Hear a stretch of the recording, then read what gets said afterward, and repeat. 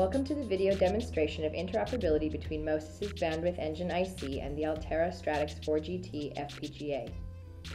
In this demonstration, the Bandwidth Engine SerDes interface is running at 10.3125 gigabits per second, full duplex over 16 lanes through approximately 10 inches of FR4 trace. This demonstration will illustrate the results from extended testing over 720 hours of continuous operation. This initial screenshot shows the cycle counters and error counters monitored during testing. The Bandwidth Engine IC is a breakthrough device for next generation 100 gig 200 gig networking systems. It contains a high access rate 576 megabits memory and an onboard ALU.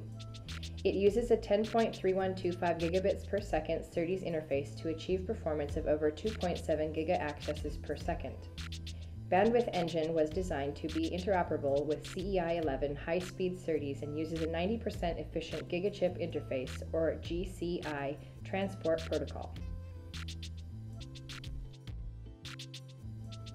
Altera is renowned as a world-leading provider of high-performance FPGAs commonly used in networking applications which are complementary with the capabilities of the Bandwidth Engine. In this test setup, we are running a balanced read-write command sequence achieving 1 billion writes and 1 billion reads concurrently. A total of 2 giga accesses per second.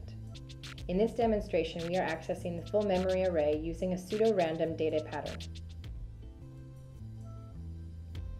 This final screenshot is again showing the cycle and error counters still with no errors after over 720 hours on test.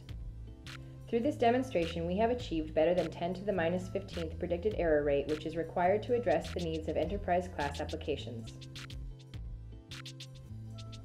Thank you for your attention.